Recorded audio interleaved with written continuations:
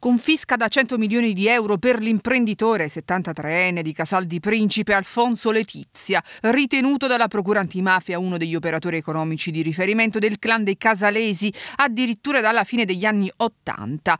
Sono stati gli uomini della DIA ad eseguire il provvedimento. Letizia era considerato il punto di riferimento dei Casalesi, della famiglia Schiavone, perché metteva stabilmente a disposizione dall'organizzazione mafiosa i propri impianti di produzione del calcestruzzo e le proprie strutture societarie, ottenendo di contro l'ingresso nel novero delle aziende oligopoliste presenti sul mercato casertano. Più nel dettaglio, l'associazione imponeva sui cantieri controllati le forniture di calcestruzzo provenienti dalle loro aziende. L'indagine ha consentito di evidenziare un meccanismo definito come cooptazione camorristica del fornitore, in cui proprio Letizia era individuato quale fornitore del calcestruzzo per determinate opere a prezzi di gran lunga maggiorati rispetto a quelli di mercato.